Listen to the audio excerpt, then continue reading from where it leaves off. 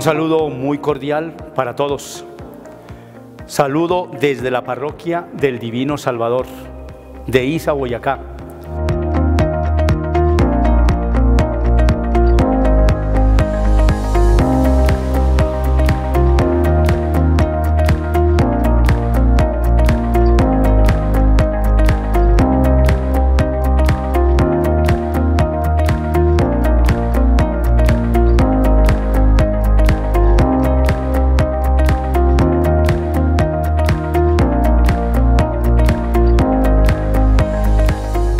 Bueno, buenas tardes para todos. Mi nombre es Diego Armando López Guanúmen, alcalde del municipio de Isa.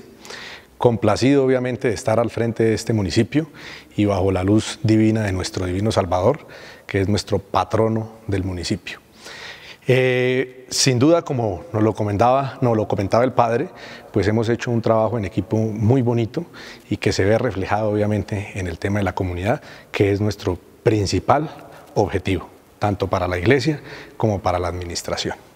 Eh, desde el punto de vista religioso, para nosotros es una fortaleza turística grandísima que siempre hemos visto en esta revelación divina que es el Divino Salvador, el poder atraer bastantes personas aquí a nuestro municipio, no solo a disfrutar de lo hermoso que es el pueblo, patrimonio histórico nacional declarado en el 2002, que lo hace diferente, con sus termales de dos tipos de agua que tenemos en este municipio en tan solo 34 kilómetros cuadrados, con sus potenciales también de tipo gastronómico, como, sus postres, sus buenos restaurantes, consideramos que el potencial más fuerte está en el Divino Salvador. Por lo tanto, podemos conjugar todo eso que nos ofrece el municipio bajo la referencia divina de él. Y hemos querido promocionarlo, promoverlo desde el punto de vista religioso para que cada día más personas vengan a nuestro municipio. En conjunto con el con el padre decidimos en el 2016 hacer la primera imagen tallada sobre un tronco que teníamos casi que abandonado en el municipio y lo decidimos hacer en el parque principal. Trajimos a un tallador de talla internacional desde República Dominicana, quien plasmó la imagen del Divino Salvador en este tronco. Esto se ha convertido sin duda en un atractivo turístico para todas las personas que se encuentran dentro del municipio, puesto que quieren conocer de la historia y aparte de eso, pues tomarse la foto allí. Seguiremos ahorita con una actividad que estamos trabajando en conjunto, que es en uno de los cerros más significativos del municipio y que está con capacidad de acceso para todas las personas. Eh, elevaremos también en talla un Cristo de más o menos 12 metros de altura, queremos convertirlo también en un atractivo turístico para que todos suban hasta allí a contemplarlo. Una talla de un tronco de 12 metros con todo el cuerpo de nuestro Señor eh, crucificado. Entonces aspiramos a poderlo inaugurar aproximadamente en Semana Santa de este 2019. Estamos pues un poquito sobre el tiempo, pero ya se está trabajando sobre ello.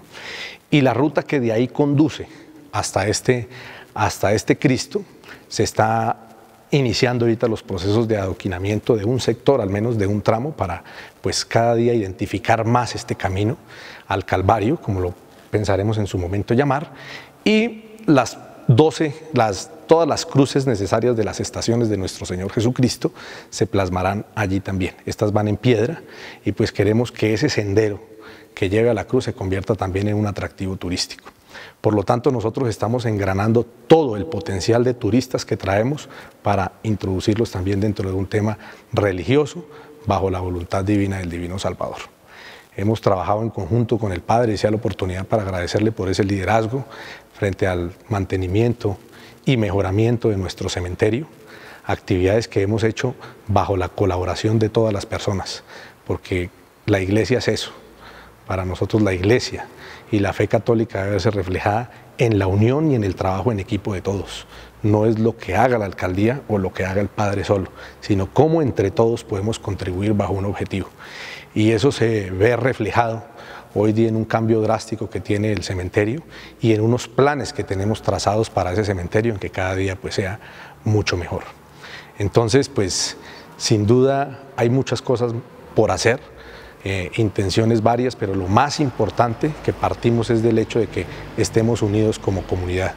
Aquí somos uno solo, eh, iglesia, administración y comunidad y entre todos nos estamos trazando unos objetivos, objetivos sin tantos recursos públicos, sin tanto tener que contratar, sin tanto tener que recurrir a eso, sino cómo desde cada persona podemos aportar y podemos colaborar. Esto ha llevado a que tengamos hoy día una comunidad más integrada, más unida, con más sentimiento de pertenencia de nuestro municipio, de los valores que aquí tenemos y sin duda obviamente sabemos que eso es bajo la luz divina de nuestro divino Salvador. Entonces, eh, gracias por podernos permitir manifestar lo bonito de nuestro municipio, lo hermoso que tenemos y cómo hemos logrado conjugar el trabajo entre iglesia y administración.